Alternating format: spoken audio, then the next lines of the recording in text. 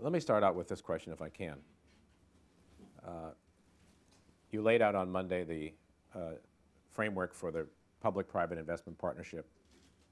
That's, of course, the key initiative toward toxic assets, which are at the heart of the crisis. How quickly can we expect to see results from this effort? I've heard uh, a number of reasonably informed people question whether the sellers, so to speak, are prepared to sell, particularly if they're facing prices below their marks. So how do we measure how well this is doing, and let's just say three months from now, how much actual volume of toxic asset transactions do you expect to see? Okay, let me do timing first. Uh, this framework builds on a operational capacity that the FDIC uses for loans, and then a framework the Fed's evolved for this term asset-backed lending facility for securities. But even though we're building off some existing infrastructure, it's going to take some time for these, the operational infrastructure to be put in place before we actually can start. Uh, so I want to begin with that. Uh, uh, second, um, the effects of this are not going to be judged. You can't measure these solely on the basis of how much activity you get through these funds. The existence of these facilities will help change behavior, just in the way a broader backstop mechanism by a central bank can as well.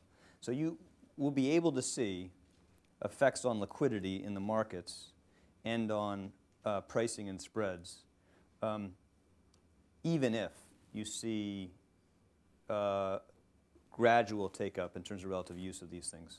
But on the question you raised about the incentives for banks in particular, um, you're right that banks are looking at this and saying, this is going to be economic enough for us. Will the market clear at a rate that's close enough to our marks to make it uh, compelling for us to sell? But the balance in this is designed to, um, to in a, some sense, make it easier for people to raise capital from the markets. And the incentive banks face is by taking advantage of this facility, they'll be able to show a cleaner institution, easier for the market to judge the risks on the remaining rest of the balance sheet of the institution, and that should make it easier for them to raise capital as a whole. And of course, banks are going to want to take raise capital from the markets if they can avoid, so they can avoid taking capital from the government. So I think you have to look at the economic incentives a bank faces through that broader prism, not simply on the, what a uh, market with leverage from the government will provide in terms of pricing.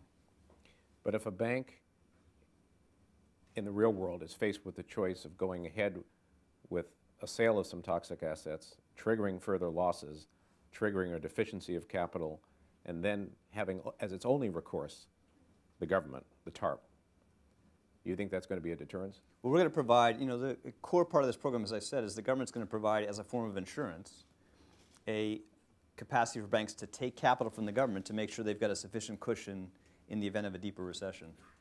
But what's happening right now in the system is banks, uh, because the market doesn't know how to value the assets on the balance sheet, is uncertain about the scale of losses they face, they're asking banks to hold higher levels of capital than the regulatory requirements uh, require now.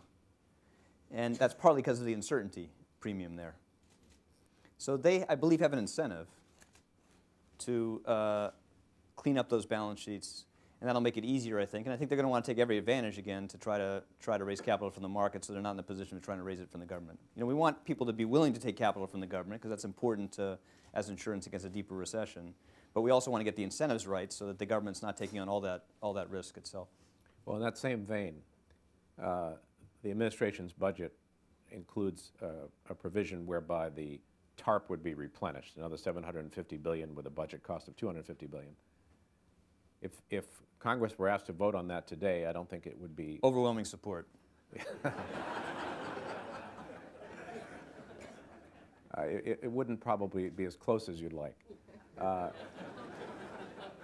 so the question is, how bad is it if you can't replenish the TARP?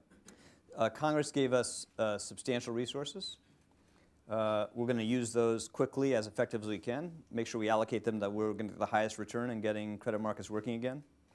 And, uh, but we're going to make sure that we work with the Congress over time to make sure we can do this on a scale and force that's necessary to help get us through this as quickly as possible. It's going to be extraordinarily difficult. Politics of this here, everywhere, are very, very hard. That's why crises are so hard to manage in some sense, because uh, it's so hard to make people understand that recovery requires a financial system that's working, and that will require government taking risks, providing us support in some sense. But you know, we're just going to have to work at it, make that case.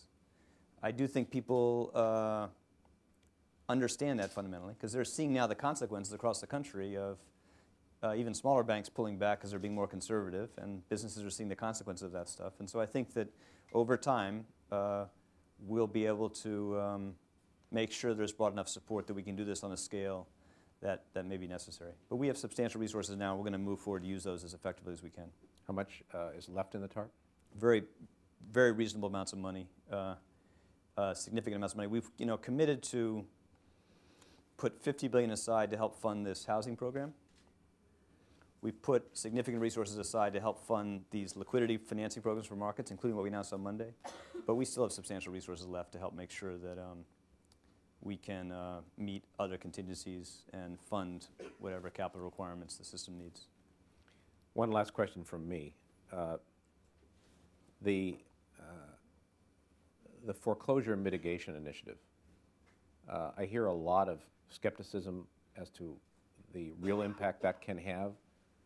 Uh, I think all of us heard what you said about uh, mortgage rates being at record lows, and there are other ways to measure how you're succeeding on the entire housing problem. But your precise initiative there, what do you expect in terms of actual Right. loan modification rates and actual tangible progress? Right. Well, let me just step back for a sec. This housing thing has four really important pieces.